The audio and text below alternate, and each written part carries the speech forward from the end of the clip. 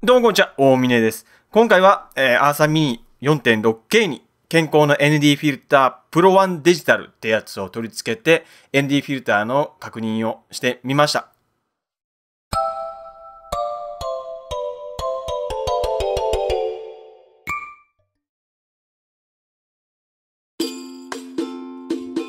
そもそも僕がアーサーミニを日中撮影に使うときって、まあ基本的には ND フィルターをつけてたんですけど、ただそれがあの、えー、ライトクラフトっていうメーカーから出ている、えー、フェーダー ND っていう無段階で暗さ、明るさを調節できる便利な道具を使ったんですよ。で、今、画面を見てもらえばわかるように、それを装着してるんですけど、まあ、便利なんだけど、見てわかるように、ちょっと色がね、変わっちゃうんですよ。色かぶりがちょっと激しくて。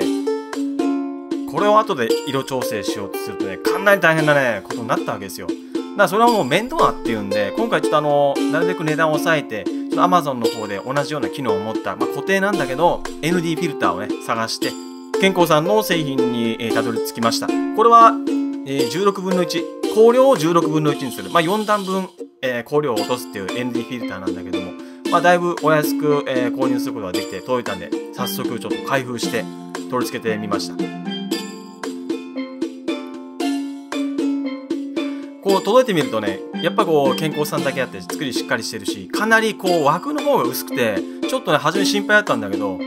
まあ思ったより頑丈だしあの表面の処理もすごい綺麗で全然あの不都合なく。ただその表面の処理がねやっぱこう省かれてる安いやつなんでちょっとあのちょっと曇ったりっていうか汚れとかつけると大変かなと思いました。それじゃあテストいってみましょう、はい、まず外でね、えー、こういう風にちょっと、えー、取り付けてみています。ここからは色調整とかを一切しないで、まあ、基本的にはもうカラーグレーディングなしの状態で、えー、流していってますね。アーサーミニって一眼レフデジカメとは違ってシャッタースピードとかっていう概念がないのでかなりね日中とか光量が高いところですごいこう調整難しくなっちゃうんですよ。だからこういうフィルター今みたいにこうすごいこう光量差が激しくなっちゃうんだけどあれこれぐらい調整できないとあのどうしても撮影ができないっていう状態が出ちゃうんですごい助かりますね。で、これがね、えー、フィルター外した状態。ISO 感度400だけど、えー、もう絞りが10っていうね、非常にこう絞りまくってる状態です。だからもう全然被写界深度のボケとかってもない状態で面白くないじゃないですか。で、それをこう、フィルターをつけて、絞りをかなり解放して、こう、被写界深度を、えー、強調した絵作りができるっていう。これがなかなか日中でもできない。写真だったらできるんだけど、動画じゃこれすっごい難しいんですよ。